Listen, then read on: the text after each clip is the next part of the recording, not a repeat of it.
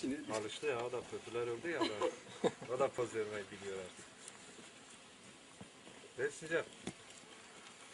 Valla alıştı kaçmıyor da. Emre bir şöyle biraz yaklarsınız. Tutmuş ve anlaşılıyor. Biraz da stres ve heyecandan kaynaklı taşikardi da şekillenmiş.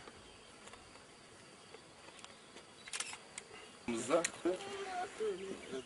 Dikkat ederseniz kalp şu an tam boynun alt tarafında servikal kısmında.